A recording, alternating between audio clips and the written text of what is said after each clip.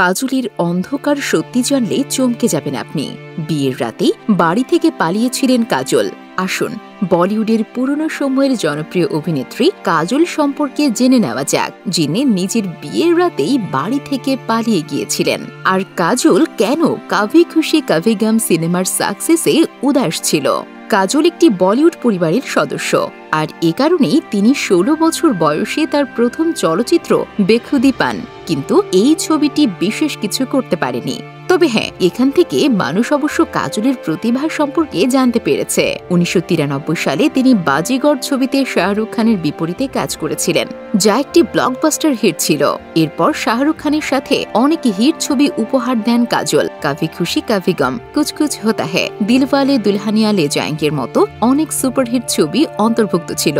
উনিশশো সাতানব্বই সালে কাজল গুপ্ত ছবিতে নিজের একটি ভিন্ন অবতার দেখিয়েছিলেন, যেখানে তাকে একটি নেতিবাচক চরিত্রে দেখা গিয়েছিল।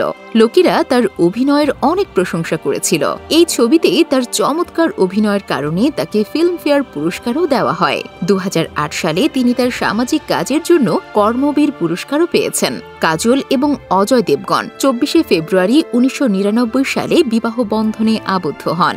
বলা হয় যে কাজল এবং অজয় দেবগণ বিয়ের কয়েক ঘণ্টা আগে বাড়ি থেকে উধাও হয়ে যান। কারণ তারা তাদের বিয়েতে কোনো ধরনের মিডিয়া স্ট্যান্ড চান না। ধর্মশালায় পাঞ্জাবি ও বাঙালি রীতি অনুযায়ী বিয়ে করেন এবং বিয়ের পরে দুজনে অন্যদের বিয়ের কথা জানান। তবে বিয়ের পর অনেকেই তাদের জুটিকে অমিল বলে অভিহিত করেছেন। এটাও বলা হয়েছিল যে এটি কাজলের একটা ভুল সিদ্ধান্ত এবং তাদের সম্পর্ক বেশি দিন টিকবে না। কারণ কাজল যখন বিয়ে করেন, তখন তিনি ক্যারিয়ারের শীর্ষে ছিলেন। এমত অবস্থায় মানুষ আশাবাদী ছিল যে বিয়ের পর তাদের চলচ্চিত্র পাওয়া বন্ধ হয়ে যাবে। কিন্তু সেরকম কিছুই হয়নি। বিয়ের পরেও তিনি চলচ্চিত্রে কাজ চালিয়ে যান এবং দিয়েছেন অনেক সুপারহিট ছবি। হয়তো আপনি জানেন না, কিন্তু কাজল কাভি খুশি কাভি গামে দুর্দান্ত অভিনয় করেছিলেন। এই ছবিটি চলাকালীন গর্ভবতী ছিলেন তিনি এবং যখন এই ছবিটি সুপারহিট প্রমাণিত হয়েছিল, তখন এই খুশি উদযাপন করার পরিবর্তে কাজল শোকে নিমজ্জিত হয়েছিলেন।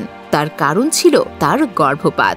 তবে এরপর কাজল আবারও গর্ভবতী হলেও কিছু সমস্যার কারণে আবারও গর্ভপাত হয় তার। কিন্তু এই সমস্ত সমস্যায় কাজল কখনোই বিচলিত হননি। বরং তিনি সবসময় আগের চেয়ে আরও শক্তির সাথে প্রতিটি পরিস্থিতির মুখোমুখি হয়েছেন। কাজল হিন্দির পাশাপাশি তামিল ছবিতেও তার মুগ্ধতা ছড়িয়েছেন। তার বিশেষ বন্ধুদের তালিকায় এসেছেন করণ জোহার। করণ কাজলকে তার ভাগ্যবান হিসেবে বিবেচনা করেন। তাই যদি কোনো বড় প্রকল্পে প্রধান না হলেও তাকে কিছু সময়ের জন্য একটা ভূমিকার জন্য বিবেচনা করেন। আজ কাজল একটি সুখী, বিবাহিত জীবন উপভোগ করছেন। তার স্বামী অজয় দেবগণ, মেয়ে নাইসা দেবগণ এবং ছেলে যুগের সাথে তার পরিবার খুব সুখী। আজ তার এবং অজয় দেবগণের জুটি বলিউডের অন্যতম বলে বিবেচিত হয়।